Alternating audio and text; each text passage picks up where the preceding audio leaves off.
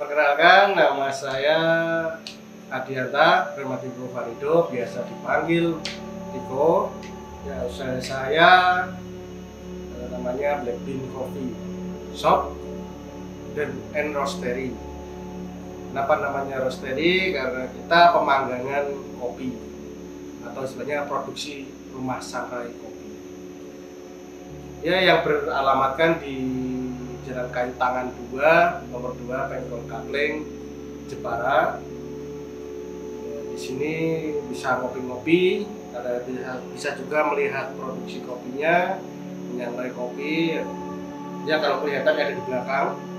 Kalau kelihatan, kalau enggak ya bisa datang ke sini sama teman-temannya buat beli biji kopi atau bisa eh, sambil ngopi-ngopi nongkrong sambil kerjakan tugas atau ya sekedar temu kangen sama temen juga bisa. Ya usaha ini udah saya mulai 2013 semenjak eh, akhir-akhir kuliah lah semester tua. Eh, kalau bisa dibilang ma- mahasiswa abadi yang sudah belasan semester lah kalau kalau kalau boleh tahu. Ya ini berawal dari ya sekedar coba-coba. Ya, lama-lama kok. Lah kok enak? Makanya saya lanjutkan.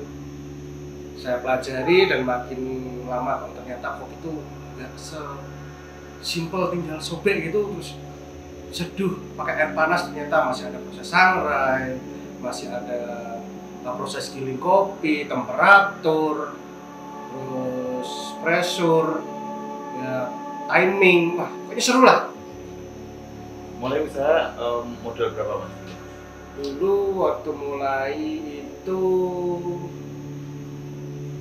modal kurang lebih kecil sekali tidak nyampe 50 juta lah ya tidak usah sebut nominal tidak sampai 50 juta dengan furnitur seadanya meja bar buat sendiri papan tulis buat sendiri neon box juga buat sendiri ya ngecat ya sama teman-teman dibantu teman-teman ngecat sendiri.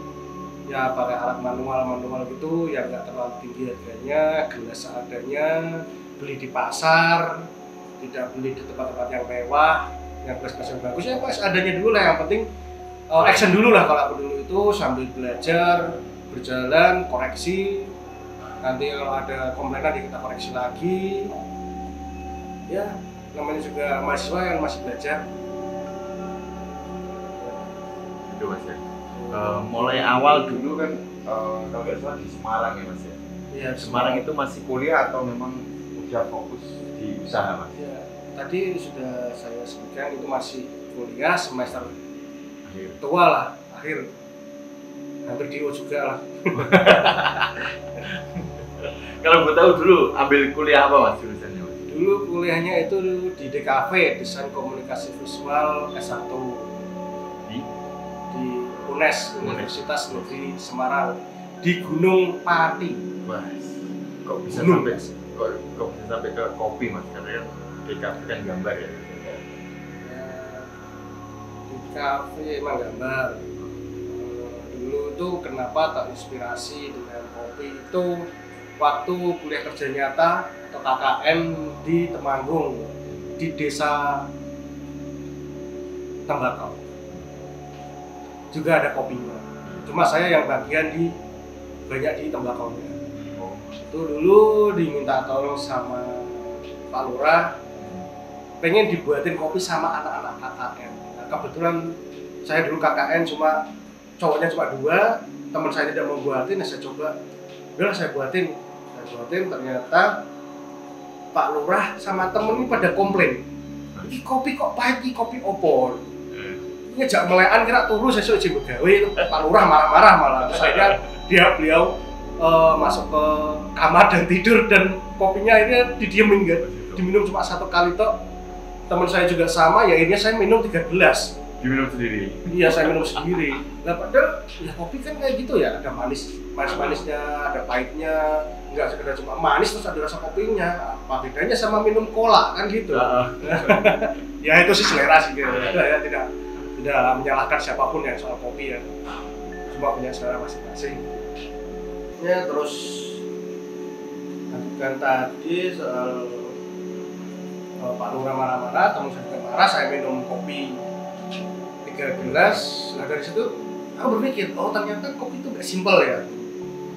Wah, kenapa eh, kopi dulu itu udah udah kita kenal terus udah lama banget? Kenapa makin ke sini makin eh, makin berkembang pesat ya kita bilang kayak gitu. Nah terus akhirnya saya memberanikan diri eh, browsing-browsing ke di internet nyari tahu soal kopi secara menyeluruh. Dan akhirnya saya beranikan diri mulai. Karena eh, di waktu KKN itu orang tua saya ayah saya meninggal saya mendapat ya, alhamdulillah sedikit. Arisan saya memberanikan diri lah. Ini kalau aku buat kuliah saya nggak punya pengalaman apa apa dan akhirnya saya beranikan diri memulai tanpa ilmu apa pun. Langsung mulai aja eh, bikin resep bikin apa eh, biar orang beli itu yang koreksi langsung lah itunya juga gam- gambling di situ. Atau eh, emang kalau orang suka atau kita nggak berkembang ya sudahlah pokoknya berani dulu. Dan saya di situ mulai ya, jualan langsung sembari kuliah ya ada orang beli satu cup kalau habis cuma seperempat saya koreksi hingga sampai orang menghabiskan satu gelas itu secara secara apa ya Lebih.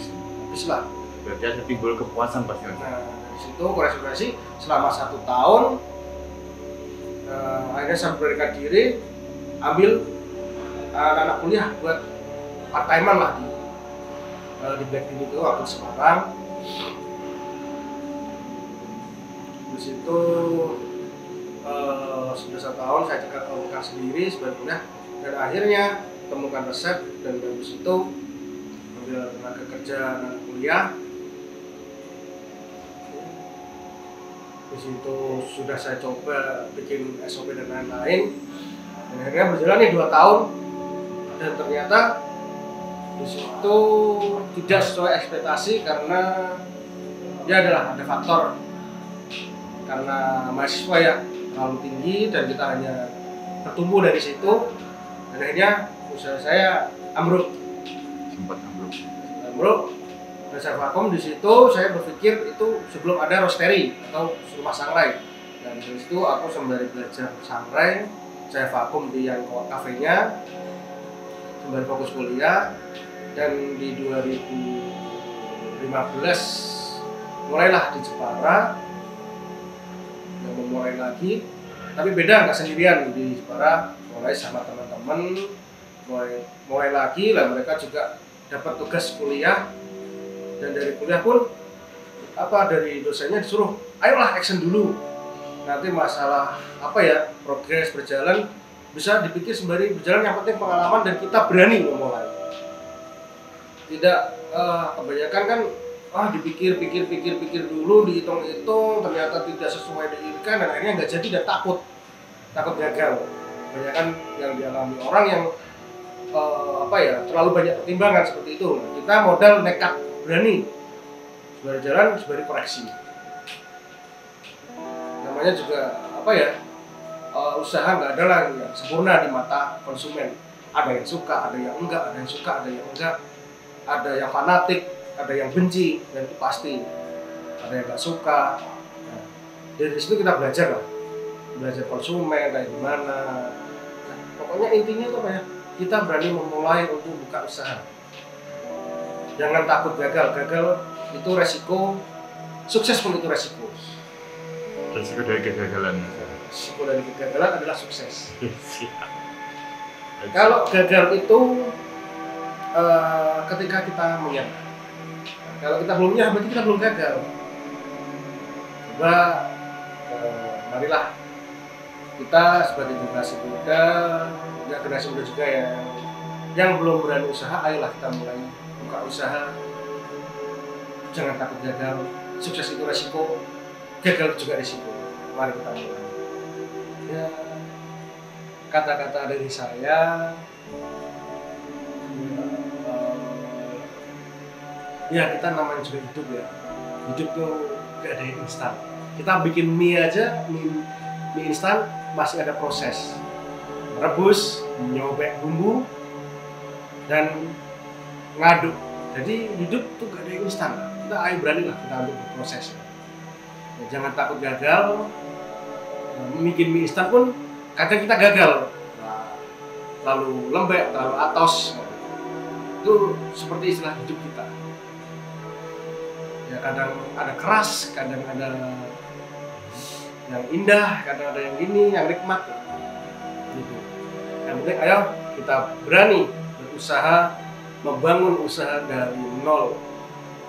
Dan kata-kata akhir dari saya sing penting wani maju wani gagal wani bangkit ojo wedi. Oke salam sukses dari Black Bean Coffee Roastery